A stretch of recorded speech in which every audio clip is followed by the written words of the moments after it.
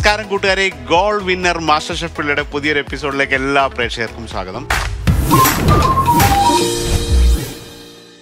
ഇന്നത്തെ പോലെ ഇന്ന് നമുക്കൊരു ഗസ്റ്റ് ഉണ്ട്. ഇന്ന് ഒരു ഗസ്റ്റ് അല്ല നമുക്ക് എല്ലാവർക്കും അറിയാവുന്ന ഒരു ബ്യൂട്ടിഫുൾ കപ്പിളാണ് മീത് മിരി സോഷ്യൽ മീഡിയയിലെല്ലാം വൈറലായ വീഡിയോയിലൂടെ സ്വാഗതം ചെയ്യാം. നമസ്കാരം ബ്രോസ് ഇല്ലാത്ത വീഡിയോസ് എല്ലാവരും ഭയങ്കര നമ്മളൊക്കെ ഇങ്ങനെ സ്ട്രെസ് ആയിട്ടൊക്കെ ഇരിക്കുമ്പോൾ നിങ്ങളുടെ വീഡിയോസ് എടുത്ത് ഇങ്ങനെ കാണുക. സ്ട്രെസ് എവിടെ പോയെന്ന് അറിയില്ല. ആ രീതിയിൽ ഭയങ്കര സന്തോഷം കണ്ടതിൽ ഓരോ തവണയും നിങ്ങളുടെ ഓരോ ഒത്തിരി കണ്ടൻസുകളൊക്കെ നമുക്കിപ്പോൾ സോഷ്യൽ മീഡിയയിലുണ്ട് പക്ഷെ നിങ്ങൾ കൺസിസ്റ്റന്റ് ആയിട്ട് ഒരേ സ്റ്റൈലിൽ ഇത് ചെയ്ത് ഇത് തന്നെ ഒരു ഐ ടി ഐ ടി എന്തായിരുന്നു അന്ന്? സോഫ്റ്റ്വെയർ ഒരു രണ്ടുപേർക്ക് നല്ല ഉദ്യോഗമൊക്കെ ഉള്ളതൊക്കെ മാറ്റി വെച്ച് ഇപ്പോൾ ഫുൾ ടൈം ഇതിനു വേണ്ടിയിട്ട് അത് അത്രയും പാഷനേറ്റായിട്ട് ചെയ്യുന്നതുകൊണ്ടാണ് ആ കൺസിസ്റ്റന്റ് ആയിട്ട് ഇത് ചെയ്യാൻ പറ്റുന്നത്. അതിനൊരു വലിയൊരു കൺഗ്രാറ്റുലേഷൻസ് തന്നെ പറയുകയാണ്. ഇത്രയും വലിയൊരു ഇൻട്രോ അതും ഷെഫിനെ പോലത്തെ ഒരാൾ തരുമ്പം അതിനും വലിയൊരു പുരസ്കാരം നമുക്ക് കിട്ടാനില്ല. അത് ഞാൻ പറയാൻ കാരണം അതല്ല. ഇവരെ കുറേ കാലമായിട്ട് നമ്മൾ അറിയാം. അപ്പോൾ ഇതേപോലെ ഒത്തിരി വീഡിയോസ് ഒക്കെ വരുമ്പോഴും പക്ഷേ അതിനകത്തൊരു ഫണ്ട് ഒരു മെസ്സേജ് ഉണ്ട്. അതിനകത്ത് ഒരു എല്ലാം എല്ലാത്തരം ഇവർ ആ ഓരോ കണ്ടന്റ് ക്രിയേറ്റ് ചെയ്യുമ്പോൾ അതിനകത്ത് അവരതിന്റെ ഒരു തോട്ട് പ്രോസസ്സോട്ട് വെറുതെ ഒരു കണ്ടന്റ് ക്രിയേറ്റ് ചെയ്യാറുണ്ട് അതുകൊണ്ടാണല്ലോ ഇത്രയും പേര് അത് കാണുകയും ഇഷ്ടപ്പെടുകയും നല്ല നല്ല കമൻസ് വരികയൊക്കെ ചെയ്യുന്നത്. ലാസ്റ്റ് ടു ഇയേഴ്സ് വലിയൊരു ഗ്രോത്ത് ഇൻ ആ. രീതിയിൽ ഇപ്പോൾ യൂട്യൂബിലായാലും ഫേസ്ബുക്കിലായാലും ഇൻസ്റ്റാഗ്രാമിലായാലും എല്ലാം നിങ്ങളുടെ കണ്ടന്റുകൾ കാണുന്നതും. അപ്പോൾ ഇത് കണ്ടിട്ട് എങ്ങനെ ഹാപ്പി ആയിട്ട് ആളുകൾ ചിലപ്പോൾ നിങ്ങൾ അടിയൊക്കെ ഉണ്ടാക്കുമെന്ന് എനിക്കറിയാം. ഇവിടെ എന്നാലും പോലും മറ്റുള്ളവർക്ക് ഇത് കാണുമ്പോൾ ഒരു മെസ്സേജ് ആയിട്ട് ഓക്കെ ഹാപ്പി ആയിട്ട് ഇരിക്കുകയാണല്ലോ ഏറ്റവും വലിയ കാര്യം ഇപ്പോഴത്തെ കാലത്ത്. ഇത്രയും സമ്മർദ്ദം പിടിച്ച ഒരു ലൈഫ് സ്റ്റൈലാണ് എല്ലാവരും അതെ അതിന്റെ ഇടയിൽ അതിന്റെ ഇടയിൽ എങ്ങനെയൊക്കെ നമുക്ക് ഹാപ്പി ആയിട്ട് ഇരിക്കാൻ പറ്റും എന്നുള്ളതിന്റെ ഒരു എക്സാമ്പിളായിട്ട് നിങ്ങൾ കാണിച്ചുകൊണ്ടിരിക്കുകയാണ്. അത് നന്നായിട്ട് വരുന്നതിൽ നമുക്ക് എല്ലാവർക്കും സന്തോഷം. പിന്നെ എന്തൊക്കെയാണ് ഇപ്പോൾ വിശേഷങ്ങൾ പറയൂ. ഇപ്പോഴത്തെ പുതിയ വിശേഷം എന്ന് പറയുന്നത് നമ്മളൊരു ഡ്രീം അച്ചീവ് ചെയ്തു. അതെന്ന് വെച്ചാൽ നമ്മളൊരു വലിയ ഒരു കാർ വാങ്ങിച്ചു. അതൊരു വലിയൊരു ഡ്രീം ആയിരുന്നു. അത് ഫുൾഫിൽ ചെയ്യാൻ പറ്റി. പിന്നെ അതിലും വലിയൊരു ഡ്രീം ആയിരുന്നു നമുക്ക് സ്വന്തമായിട്ട്. ഇപ്പം സോഷ്യൽ മീഡിയയിലൊക്കെ നമ്മൾ ആക്റ്റീവാണ് നമ്മുടെ പ്രൊഫഷണൽ ജോബ് നമ്മൾ മാറ്റി വെച്ചിട്ടാണ് സോഷ്യൽ മീഡിയയിൽ ഇങ്ങനെ ആക്റ്റീവായി നിൽക്കുന്നത് അപ്പോൾ അതിന്റെ കൂടെ നമുക്ക് സ്വന്തമായ ഒരു ബിസിനസ് സ്റ്റാർട്ട് ചെയ്യണമെന്നുണ്ട്. അപ്പം പാഞ്ചാലി വസ്ത്ര എന്ന് പറയുന്ന ഒരു ഓൺലൈൻ ക്ലോതിങ് സ്റ്റോർ നമ്മൾ അങ്ങ് ഓപ്പൺ ചെയ്തു. എന്താണ് ബ്രാൻഡ് പേര് പാഞ്ചാലി വസ്ത്ര. പാഞ്ചാലി വസ്ത്ര. എന്താണ് ആ പേരിടാനുള്ള കാര്യം? സാരിയാണ് നമ്മൾ മെയിൻലി കോൺസെൻട്രേറ്റ് ചെയ്യുന്നത്. അപ്പൊ പാഞ്ചാലിക്ക് സാരി ആയിട്ട് വലിയൊരു കണക്ഷൻ ഉണ്ടല്ലോ. അങ്ങനെ. അപ്പം അങ്ങനെ തന്നെ അത് വെച്ചു പേര്. ഇതൊരു ഒരു ചിക്കന്റെ ഡിഷാണ് അപ്പം ആദ്യം തന്നെ നമ്മൾ കുറച്ച് എണ്ണ ഒഴിക്കുന്നു. യെസ് ഇതിന്റെ ഇടയിൽ ഒന്ന് രണ്ട് കുക്കിംഗ് വീഡിയോ ഒക്കെ വരണ്ടല്ലേ കുക്കിംഗ് വീഡിയോ എടുത്തു. നമ്മൾ ഒരു കുക്കിംഗ് വീഡിയോ എടുത്ത് ഒരു പത്ത് മുപ്പത് മില്യൺ ഒക്കെ പോയി. പക്ഷെ അത് ഷെഫ് ഒരു ദിവസം ഫ്രീ ഉള്ള സമയം കാണണം. അടുത്ത ഷോയിൽ നമ്മളെ വിളിക്കില്ല പിന്നെ. എങ്ങനെയാണ് ഈ കണ്ടന്റിലേക്ക് എത്തുക? നിങ്ങൾ സ്ക്രിപ്റ്റ് ഒന്നും ചെയ്യുന്ന പോലെ അല്ല ഒരു സിമ്പിൾ ഡ്രസ്സത്തിൽ അങ്ങ് പോവാണ്. നമ്മൾ ആക്ച്വലി ഒരു കാര്യത്തിനും സ്ക്രിപ്റ്റ് എഴുതാറില്ല. ഓൺ ദ സ്പോട്ടിൽ നമ്മളിങ്ങനെ ആരോടെങ്കിലും സംസാരിച്ചുകൊണ്ടിരിക്കുമ്പോൾ ആളൊന്ന് വെറുതെ ഒന്ന് നോക്കും. എന്തെങ്കിലും ഒരു സാധനം കിട്ടും. അല്ലെങ്കിൽ നമ്മൾ നിൽക്കുന്ന സ്ഥലത്ത് ഇപ്പം ഈ ഈ കടായും ഇതൊക്കെ വെച്ചിട്ട് എന്തെങ്കിലും ഒരു കിട്ടിക്കഴിഞ്ഞാൽ അത് ഡെവലപ്പ് ചെയ്ത് ഓൺ ദ സ്പോട്ടിൽ അങ്ങ് ചെയ്യുക അങ്ങനെയാണ്. വീഡിയോയ്ക്കകത്ത് ഏറ്റവും നിങ്ങളെക്കാട്ടി ആക്റ്റീവ് ഒരാൾ പമ്മി ഇവിടെ നിൽക്കുക ഒരു അക്ഷരം പോലും ഇനി മുഴുവനും അവളിങ്ങനെ നോക്കി നിൽക്കായിരിക്കും ഗാർലിക് നമ്മൾ കുറച്ച് വെളുത്തുള്ളി ആദ്യം ഇട്ടു. അതുപോലെ ലേശം ഇഞ്ചി.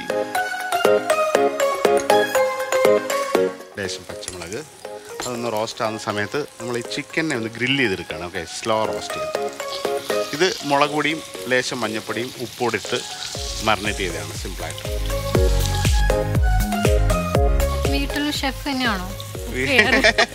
വീട്ടിൽ വൈഫാണ് നന്നായിട്ട് കുക്ക് ചെയ്യുക. പിന്നെ ടൈം കിട്ടുമ്പോൾ നമ്മൾ ഇടയ്ക്ക് ഞാൻ ഇടയ്ക്ക് പറയും കണ്ടു പഠിക്കാം ഹോട്ടൽ മാനേജ്മെന്റ് കഴിഞ്ഞതാ? എനിക്കറിയാം ഹോട്ടൽ കഴിഞ്ഞ പ്രാവശ്യം. എനിക്ക് ഷെഫിനെ കാണുമ്പോൾ എപ്പോഴും ഒരു നമ്മുടെ ഒരു കോളേജ് ഒരു പക്ഷേങ്കിൽ വ്യത്യാസം എന്ന് വെച്ചാൽ ആ ആളുടെ മുഖത്ത് ഒരിക്കലും ചിരി ഉണ്ടാവില്ല. ഷെഫിന്റെ മുഖത്ത് എപ്പോഴും സ്മൈലാണ് അതുകൊണ്ട് പേടിയില്ല. അല്ലെങ്കിൽ ആളുടെ മുമ്പിൽ പോകുമ്പോൾ എപ്പോഴും നമ്മളെ ഹോട്ടൽ മാനേജ്മെന്റിലെ മെയിൻ ആയിട്ട് വരുന്ന കാര്യമാണ് ഫ്രഞ്ച് ക്ലാസിക്കൽ മെനു അതെ. അതിങ്ങനെ നമ്മളെ കൊണ്ട് റിപ്പീറ്റ് ചെയ്യിപ്പിച്ചുകൊണ്ടേയിരിക്കും.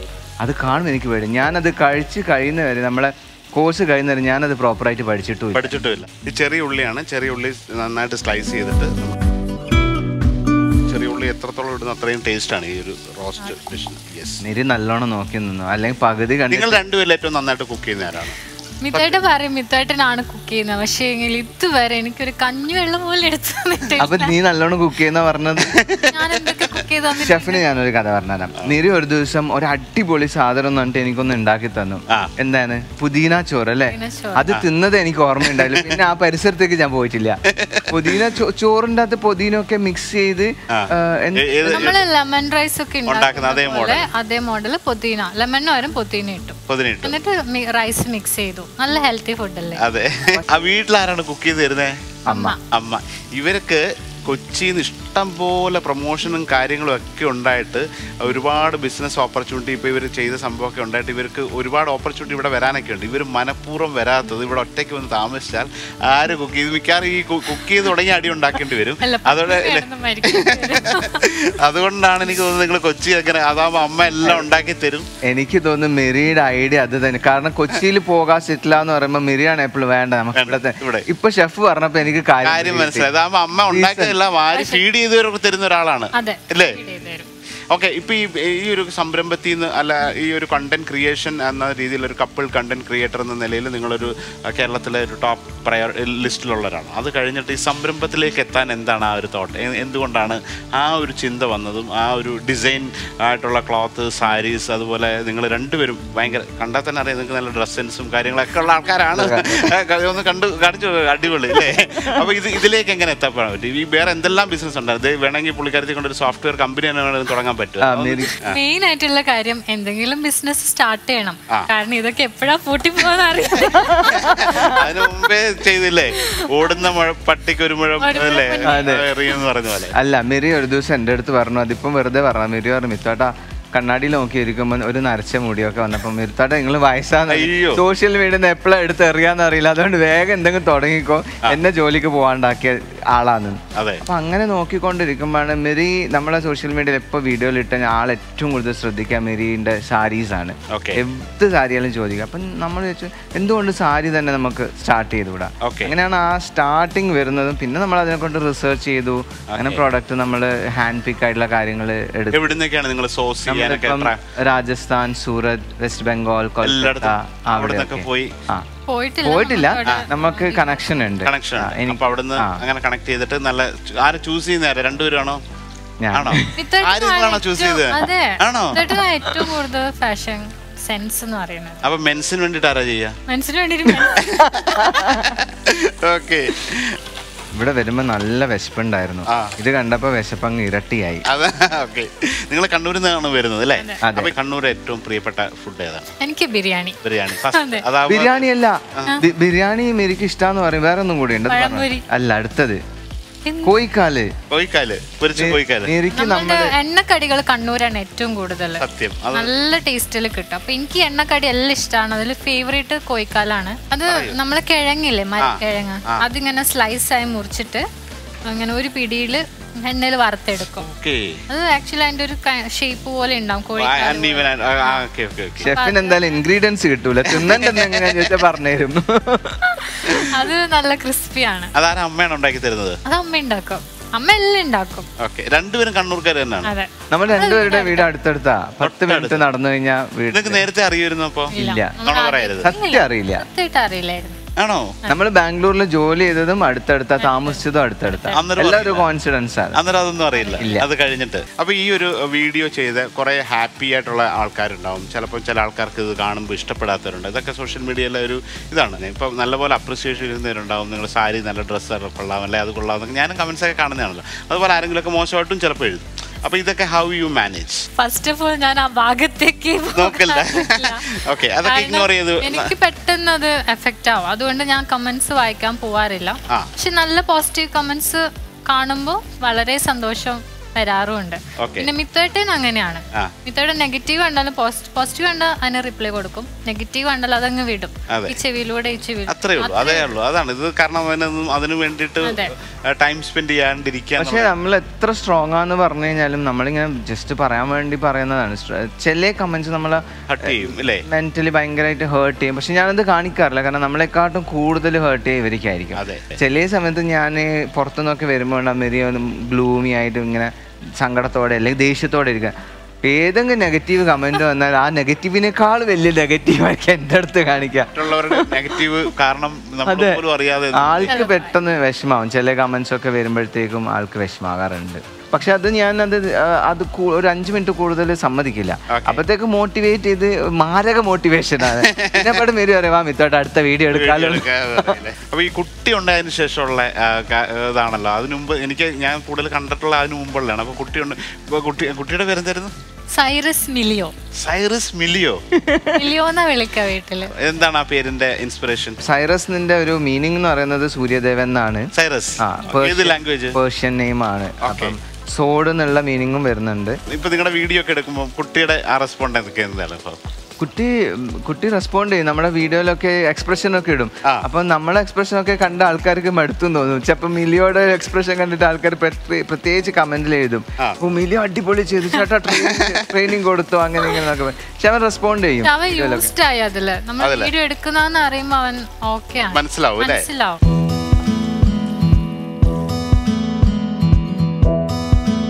മുളക് പൊടി മല്ലിപ്പൊടി മഞ്ഞൾപ്പൊടി. അത് മാത്രമാണ് അപ്പോൾ ഇതിന്റെ ചെറിയ ഉള്ളിയൊക്കെ നന്നായിട്ട് ഒരു സൈഡിൽ റോസ്റ്റായി. നമ്മുടെ ചിക്കനോടെ റോസ്റ്റ് ആയിക്കൊണ്ടിരിക്കുകയാണ് സോ ഇനി മസാലേനെ നന്നായിട്ടൊന്ന് മിക്സ് ചെയ്തു.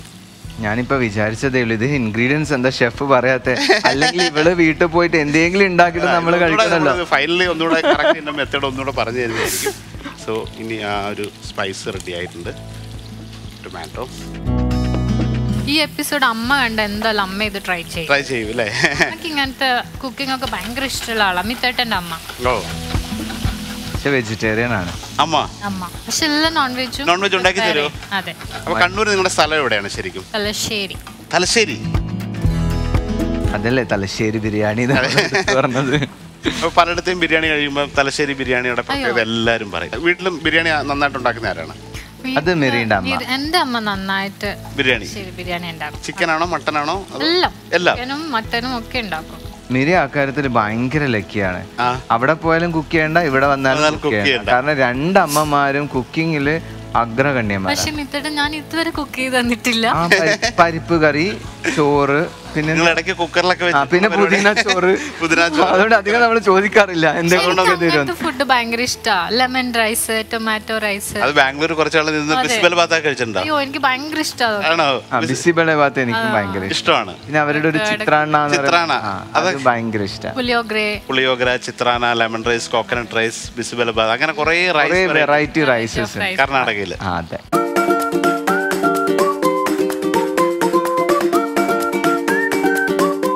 ഇനിയുള്ള അപ്പോൾ ഒരു ഹൺഡ്രഡ് പെർസെന്റ് ആയിട്ട് ഇപ്പം ഒരു ബിസിനസ്സിലേക്ക് വന്നു. ഒരു ബിസിനസ് എന്ന് പറയുന്നത് ഒരു ഡിഫറെന്റ് ബോൾ ഗെയിമാണ് ഓക്കെ.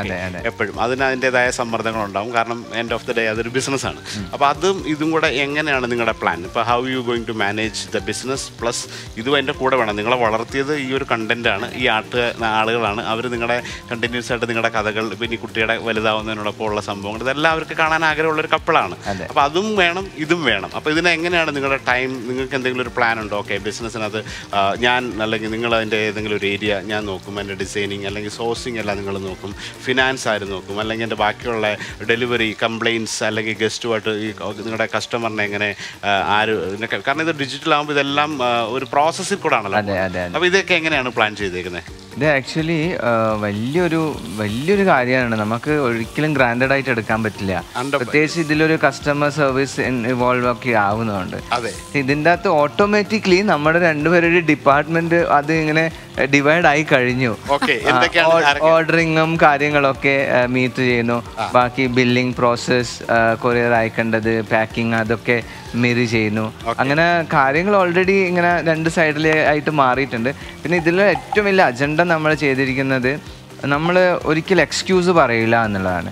ഇപ്പൊ ഷെഫ് പറഞ്ഞില്ല ഇപ്പൊ നമ്മളെ സോഷ്യൽ മീഡിയ കണ്ടന്റ് എങ്ങനെ പോകും ഇതിന്റെ ഈ ബിസിനസ് അതും കൂടെ. ഇത് രണ്ടിന്റെ ഇടയിൽ നമ്മൾ ഒരിക്കലും ഒന്നിനും എക്സ്ക്യൂസ് പറയില്ല എന്നുള്ളത് ഇപ്പൊ നമ്മൾ ട്രാവൽ ചെയ്യുന്നുണ്ട് വീഡിയോ എടുക്കുന്നുണ്ട് കണ്ടന്റ് ചെയ്യുന്നു ബിസിനസിന്റെ കാര്യം നോക്കുന്നു. നമ്മൾ അതെന്തായാലും അതിന്റെ ഒരു കൺസിസ്റ്റന്റ് എങ്ങനെയാണോ പോകുന്നത് അതേ ആ ഫ്ലോയിൽ തന്നെ കൊണ്ടുപോകാനാണ് തീരുമാനം. ഈ ഹോട്ടൽ മാനേജ്മെന്റ് ഒക്കെ പഠിച്ച ഒരാളാണ്. എപ്പോഴെങ്കിലും ആ ഒരു മേഖലയിൽ എന്തെങ്കിലും രീതിയിൽ നിങ്ങൾക്ക് ചെയ്യണമെന്ന് തോന്നിയിട്ടുണ്ടോ? ഇല്ല. ഓർമ്മിപ്പിക്കരുതേ എന്നാണ് പറയുന്നത്. സത്യം. ഹോട്ടൽ മാനേജ്മെന്റ് ഹോസ്പിറ്റാലിറ്റി ഞാൻ ഫൈവ് ഇയേഴ്സ് വർക്ക് ചെയ്തു. അവിടെ എനിക്ക് ചെയ്യാൻ പറ്റുന്ന എല്ലാ കാര്യങ്ങളും ചെയ്ത് സക്സസ്ഫുൾ ആയിക്കൊണ്ട് തന്നെ പോയി പോയത്. പക്ഷെ അതിലിടക്ക് പണ്ട് മുതലേ എനിക്കൊരു പാഷൻ ഉണ്ടായിരുന്നു. ഏതെങ്കിലും ഒരു ലെവലിൽ ആക്ടിങ് എന്റെ ഒരു മേഖലയിൽ എത്തണം. അല്ലെങ്കിൽ ഒരു ഫാഷൻ എന്റെ ഒരു മേഖലയിൽ എത്തണമെന്ന് പക്ഷേ ദൈവം കൊണ്ട് എത്തിച്ചത് സോഷ്യൽ മീഡിയയിൽ കോണ്ടന്റ് ക്രിയേറ്റർ ആയിട്ടാണ്. അത് രണ്ട് കൈയോടെ സ്വീകരിച്ചു. നമ്മളെയും ആൾക്കാർ സ്വീകരിച്ചു. ഇനി നിങ്ങളുടെ ഒറിജിനൽ പാഷൻ അവിടെ കിടക്കുകയാണ്. സിനിമ എന്ന് പറഞ്ഞ അല്ലെങ്കിൽ അഭിനയ രംഗത്തേക്ക് വരിക എന്നുള്ളതാണ്. അപ്പോൾ അതിനും കൂടെ ഇതിന്റെ ഇടയിൽ സമയം കണ്ടെത്തേണ്ടി വരും അല്ലേ? അപ്പോൾ അതെ. അതിന് അതൊരു ആഗ്രഹമായിട്ട് തന്നെ നിൽക്കുകയാണോ? എന്റെ ഏറ്റവും വലിയ ആഗ്രഹം മിറീനെ ഒരു ബിഗ് സ്ക്രീനിൽ കാണണമെന്നാണോ? ലാസ്റ്റ് ടൈം ഞാൻ ഷെഫിനോട് പറഞ്ഞിരുന്നു. അപ്പം മിറീനെ എങ്ങനെയെങ്കിലും ഒരു വലിയ ബിഗ് സ്ക്രീനിൽ കാണിക്കുക. അതിനുവേണ്ടി ഇടക്കിടക്ക് നമ്മൾ മോട്ടിവേഷൻ കൊടുക്കും. പിന്നെ എന്തെങ്കിലും കോണ്ടാക്ട്സ് വരുമ്പോൾ അത് കണക്ട് ചെയ്യാനൊക്കെ നോക്കാറുണ്ട് നല്ലൊരു ഓപ്പർച്യൂണിറ്റി വരികയാണെങ്കിൽ ആളെ എങ്ങനെയെങ്കിലും പറഞ്ഞു വിടുക എന്നുള്ളതാണ് എന്റെ അടുത്ത് പറഞ്ഞു വിടാനോ? എങ്ങനെയെങ്കിലും എങ്ങനെ സിനിമയിലൊക്കെ പോയി ഒരു മാസമൊക്കെ ചില വല്ല ലൊക്കേഷനിലൊക്കെ പോയി ഷൂ- അപ്പൊ എനിക്ക് സമാധാനമായിട്ട്. എന്നെ ഡിഫറെന്റ് വളരെ മയത്തിൽ പറഞ്ഞാണ് കേട്ടോ. ചിക്കൻ അപ്പൊ റോസ്റ്റ് ആയി ഒരുമാതിരി കളറൊക്കെ വന്നു. ഇനി ഇനി സോസിനകത്ത് കിടന്നിട്ടാണ്. അപ്പൊ ആ ഓയിലൊന്നും ഇല്ലാണ്ട് തന്നെ പീസിനെ ഈ ചിക്കൻ കാണാൻ തന്നെ ഒരു ഭംഗിയുണ്ട് ഷെഫ് ആ ഷെഫ് ഉണ്ടാക്കിക്കൊണ്ടാണ് നിങ്ങൾ ഈ പേര് ഇപ്പോഴും എനിക്ക് തോന്നി ആ മോന്റെ മകന്റെ പേരിട്ടതും മീറ്റ് മിരി എന്നുള്ള പേരായത് നിങ്ങളുടെ ഒറിജിനൽ പേരെന്താണെന്ന്. അപ്പോൾ ആ ഒരു പേരിനകത്ത് ഒരു വെറൈറ്റി കൊണ്ടുവരുന്നതിനകത്ത് കുറേ സംഭവമുണ്ട്. അതെന്തായിരുന്നു? രണ്ടുപേരുടെ കല്യാണം വിവാഹത്തിന് ശേഷം തീരുമാനിച്ച ഒരു സംഭവമാണ്. എന്തായിരുന്നു അതിന്റെ ഒരു? വിവാഹത്തിന് ശേഷമല്ല വിവാഹത്തിന് മുന്നേ ഞാൻ മെറീന മെറീന്ന് വിളിക്കാൻ തുടങ്ങിയതാ. അത് മീത്തിന്റെ മീയും റിത്തുഷ എന്നാണ് പേര്. എനിക്ക് ആദ്യം പേരിട്ടു. അപ്പം കല്യാണത്തിന് മുമ്പേ ആളെ ഞാൻ മിറിന്ന് വിളിക്കാൻ തുടങ്ങി. അത് എനിക്ക് ഭയങ്കര ക്ലോസ് ആയിട്ടുള്ള ഒരാളെ എന്തെങ്കിലും എന്റേതായ രീതിയിൽ വിളിക്കാൻ അത് കണ്ണൂർക്കാരുടെ ഒരു സ്വഭാവമാണ്. ആ അങ്ങനെ ഇട്ട പേരാണ് മെറി എന്നുള്ളത്. പിന്നെ സോഷ്യൽ മീഡിയയിൽ വന്നപ്പോൾ മീത്ത് മെറി അതൊരു ബ്രാൻഡ് നെയിം പോലെ അങ്ങ് സ്പ്രെഡായി പിന്നെ ഇവിടെ പോലെ ഇപ്പൊ ചില ആൾക്ക് മീത്താറ മെറിയാണെന്ന് ചില ആൾക്ക് അറിയില്ല. അപ്പൊ നമ്മൾ പോകുമ്പം മീത്തേട്ടൻ മെറിയേച്ചി അങ്ങനെ പറയില്ല. ഇത് മീത്ത് മെറി മീത്ത് മെറി. അത് അങ്ങനെ തന്നെയാണ്? അത് കേൾക്കുമ്പോൾ നമുക്കൊരു സന്തോഷമാണ് അതെ. ഫാമിലിയുടെ സപ്പോർട്ട് എങ്ങനെയാണ് ഫാമിലി സപ്പോർട്ട് ഇല്ലാണ്ട് നമ്മളിവിടെ നിൽക്കില്ല ആക്ച്വലി ഫസ്റ്റ് ഓഫ് ഓൾ മിത്തായിട്ടിന്റെ ഫാമിലിയാണ് ഏറ്റവും കൂടുതൽ സപ്പോർട്ട് ചെയ്യുക എല്ലാത്തിനും. ഇപ്പം മിത്താന്റെ ഫാമിലി എടുത്തു കഴിഞ്ഞാൽ നമ്മൾ വീഡിയോ എടുക്കാൻ കൂടെ ആൾക്കാർ ഓടി വരും. ഇവർ ഫാമിലി എല്ലാവരും കലാകാരന്മാരാണ്. ആ, അല്ല നിങ്ങൾക്ക് ഒരു ടീമുണ്ടോ അതോ എങ്ങനെയാണ് ഷൂട്ട് കാരണം രണ്ടുപേരും എപ്പോഴും സ്ക്രീനകത്തുണ്ട് ആരാണ് ഇത് ഷൂട്ട് ചെയ്യുന്നതും അല്ലെങ്കിൽ ഇതിനു വേണ്ടിയിട്ട് ഒരു ടീം സെറ്റ് ആണോ അതോ ഫ്രണ്ട്സ് ആൻഡ് ഫാമിലീസ് തന്നെയാണോ? എങ്ങനെയാണത്? അല്ല നമുക്ക് ഫാമിലിയിലുള്ള ആൾക്കാരും ഉണ്ട്. ചില നമ്മളിപ്പോൾ നമ്മളിപ്പോ ബ്രാൻഡഡ് എൻഡോസ്മെന്റോ അല്ലെങ്കിൽ അങ്ങനത്തെ കണ്ടന്റ് ഒക്കെ ചെയ്യുമ്പോൾ നമുക്ക് അതിന് വേണ്ടി പ്രൊഫഷണൽ ആയിട്ട് പ്രൊഫഷണൽ പ്രൊഫഷണൽ ആയിട്ടുള്ള ക്യാമറാമാനും മേക്കപ്പ് ആർട്ടിസ്റ്റും ഡിസൈനേഴ്സും ഒക്കെ ഉണ്ട്. അല്ലാതെ വീട്ടിൽ നിന്ന് എടുക്കുകയാണെങ്കിൽ നമ്മുടെ സപ്പോർട്ടേഴ്സ് എന്ന് പറഞ്ഞാൽ എന്റെ പപ്പ അമ്മ എന്റെ ഏട്ടൻ അനിയൻ അമ്മ, ഏടത്തി അമ്മ പിന്നെ കുഞ്ഞി മക്കൾ ആര് വീട്ടിൽ ആരും വന്നാൽ നമ്മൾ അവരെ പിടിച്ച് കണ്ടന്റിലിടും പിന്നെ ആരും നോ പറയില്ല. എന്റെ അമ്മയും പപ്പയും ഒന്നും പറയില്ല. അവരൊക്കെ ഓക്കെയാണ് എപ്പം വിളിച്ചാലും ഓക്കെയാണ്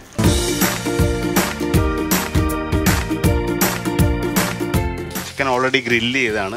അതിന്റെ കൂടെ തന്നെ മസാല ചെറിയ ഉള്ളിയും തക്കാളിയും മാത്രം ഇട്ടിട്ട് അതും സെയിം ടൈമിൽ രണ്ടും കൂടെ ഒരുമിച്ചിട്ട് കഴിഞ്ഞാൽ ചിലപ്പോൾ ഈ ഗ്രിൽ മാർക്ക് ഈ ചിക്കനകത്ത് ഗ്രില്ല് ചെയ്ത മാർക്ക് കിട്ടൂല. അപ്പോൾ അത് ഓൾറെഡി ഡയറക്റ്റ് അല്ല വെള്ളമൊക്കെ ഒഴിച്ച് കുക്ക് ചെയ്യണം. ഇതല്ലാതെ തന്നെ പാനിനകത്ത് നമ്മൾ വെള്ളമൊന്നും തൊടാണ്ട് റോസ്റ്റായ സംഭവമാണ്.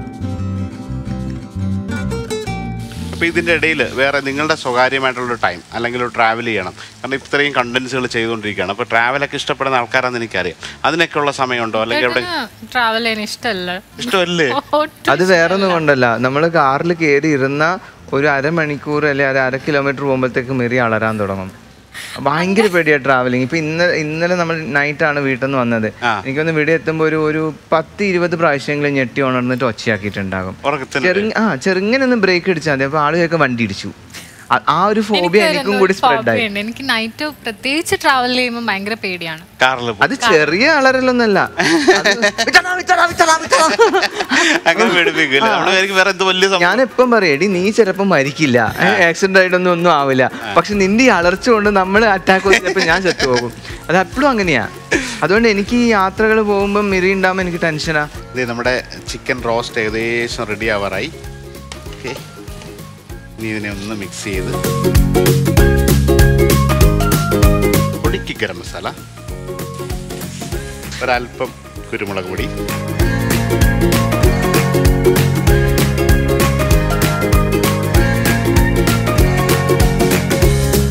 അപ്പോൾ എന്തായാലും ഞാൻ ഒരു റെസിപ്പി ഒന്നുകൂടെ പറഞ്ഞു തരാം പ്രേക്ഷകർക്കായിട്ട്. ആദ്യം തന്നെ ചിക്കൻ പൊടിയായിട്ട് ചെറിയ പീസായിട്ട് കട്ട് ചെയ്തിട്ട് മുളക് പൊടിയും മഞ്ഞൾപ്പൊടിയും ഉപ്പൂടി ഇട്ട് മാറിനേറ്റ് ചെയ്ത് ഒരു പത്ത് മിനിറ്റ് മാറ്റി വെച്ചു. അതിനുശേഷം ഇതിന്റെ മിസംബ്ലായിട്ട് ചെറിയ ഉള്ളി ഇഞ്ചി വെളുത്തുള്ളി എല്ലാം അരിഞ്ഞ് മാറ്റി വയ്ക്കുക ഒരു പാനകത്ത് എണ്ണ ഒഴിച്ചിട്ട് വെളുത്തുള്ളിയും ഇഞ്ചിയും പച്ചമുളകും ചെറിയ ഉള്ളിയും കൂടെ നന്നായിട്ടൊന്ന് വയറ്റി ഒരു ടു ത്രീ മിനിറ്റ്സ് കഴിയുമ്പം സൈഡിലേക്ക് മഞ്ഞൾപ്പൊടി മുളക് പൊടി മല്ലിപ്പൊടി ആവശ്യമുള്ള ഉപ്പിട്ട് നന്നായിട്ട് മിക്സ് ചെയ്യുന്നു. പൊടിയായിട്ട് അരിഞ്ഞ തക്കാളിയും കൂടെ ഇതിനോട്ട് ചേർത്ത് മസാല ഒന്ന് റെഡി ആവുന്ന സമയത്ത് നമ്മൾ ആ മറിനേറ്റ് ചെയ്ത ചിക്കൻ ചെറിയായിട്ട് ചെയ്ത ചിക്കൻ ഒരു പാനിനകത്ത് വെളിച്ചെണ്ണ ഒഴിച്ചിട്ട് ഈ ചിക്കൻ അതിനകത്ത് വെച്ചിട്ട് സ്ലോ ഫയറിൽ ഗ്രില്ല് ചെയ്തെടുക്കുകയാണ്. അപ്പോൾ മസാല റെഡി ആവുന്നതിനോടൊപ്പം തന്നെ ചിക്കനും അതുപോലെ കുക്കാവുന്നു അതിനുശേഷം മസാലയ്ക്കകത്ത് ആവശ്യത്തിന് വെള്ളം ഒഴിച്ചൊരു ഗ്രേവി പരുവത്തിൽ നിന്ന് ഡ്രൈ ആയിട്ട് വരുന്ന സമയത്ത് റോസ്റ്റ് ചെയ്ത ചിക്കൻ ഈ മസാലയിലേക്ക് ഇട്ട് മിക്സാക്കി അവസാനം കുറച്ച് ഗരം മസാലയും ആവശ്യമുള്ള നിങ്ങൾക്ക് എരിവിന് ആവശ്യമുള്ള കുരുമുളക് പൊടിയും കറിവേപ്പിലേക്ക് ഇട്ട് കഴിഞ്ഞാൽ നമ്മുടെ ഈ ചിക്കൻ റോസ്റ്റ് സെറ്റാണ് അപ്പോൾ ഈ റെസിപ്പി പറഞ്ഞുകൊണ്ട് എന്തായാലും ഉണ്ടാക്കി കൊടുക്കണം. ഉറപ്പ്.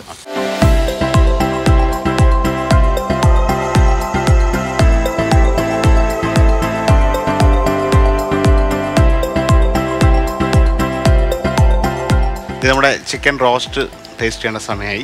നിങ്ങൾക്ക് ടേസ്റ്റ് ചെയ്യാം. യെസ്